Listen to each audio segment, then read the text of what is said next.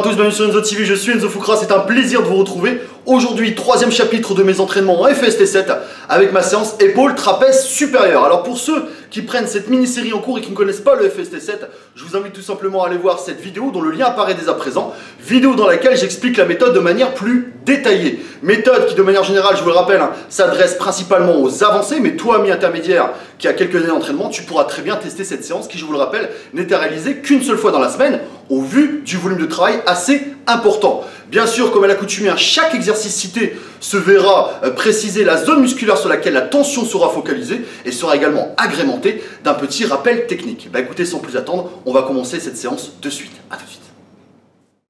Voilà, nous allons commencer de suite cette séance après un bon échauffement au préalable en premier exercice du développé aux haltères. Mouvement qui va focaliser le travail hein, sur le deltoïde antérieur, sur l'avant de votre épaule, mais également accessoirement sur le faisceau latéral. Alors pourquoi je vous conseille du développé aux haltères et pas du développé militaire à la barre Pour une principale raison, les haltères qui vont vous offrir plusieurs choses. La première, c'est une meilleure amplitude de travail.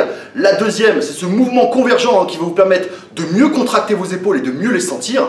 Et enfin, l'assurance de développer des épaules de manière harmonieuse sans risque de déséquilibre. Je vous rappelle que pour cet exercice, je vous conseille de légèrement incliner euh, le dossier de votre banc vers l'arrière de sorte à maximiser l'engagement de vos épaules. Inclinaison à 80 degrés suffira amplement. Et sur la phase excentrique, surtout ne descendez pas de manière exagérée au niveau du menton grand maximum, voire au niveau de l'oreille, selon votre souplesse d'épaule. Il est vrai que de temps à autre, hein, j'aime troquer cet exercice contre du front press unilatéral au cadre guidé, qui restera un bon exercice de substitution pour les personnes à qui le développer, euh, aux, le développer aux haltères occasionne des douleurs au niveau articulaire, et ceci étant dû au maintien du coude en avant du corps. Le problème étant que cet exercice va vraiment focaliser cette fois-ci le travail uniquement sur le deltoïde antérieur.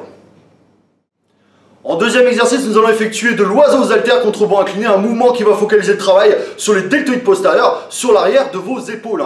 Arrière des épaules qui est souvent délaissé euh, par les pratiquants, menant généralement à leur sous-développement qui peut avoir plusieurs incidences. La première, c'est un déséquilibre au niveau euh, esthétique. La deuxième, c'est l'apparition de problèmes posturaux. Et la troisième, c'est l'apparition de problèmes articulaires. Donc encore une fois, travaillez moins ces arrières d'épaules.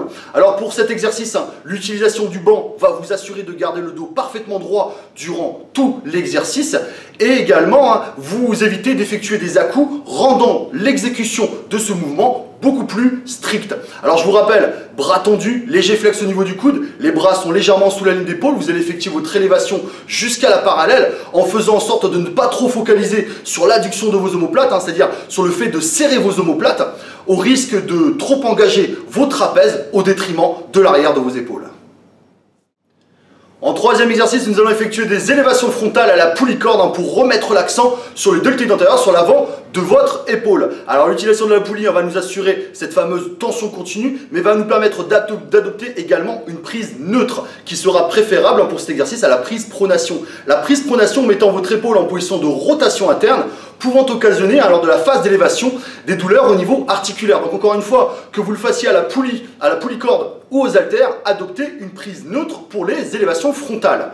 Pour cet exercice, je vous rappelle, hein, poitrine constamment sortie, les épaules tout le temps en position basse, bras tendus, léger flex au niveau du coude. Effectuez votre élévation jusqu'au niveau des yeux de sorte à maximiser l'engagement de vos épaules.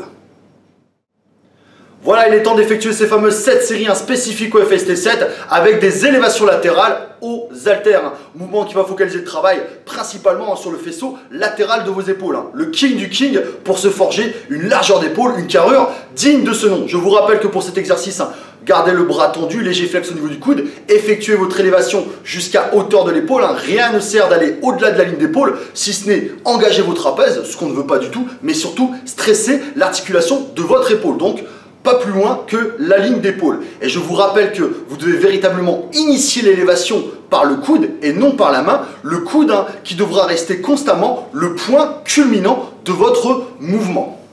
Alors un petit mot avant d'attaquer le travail des trapèzes. Hein.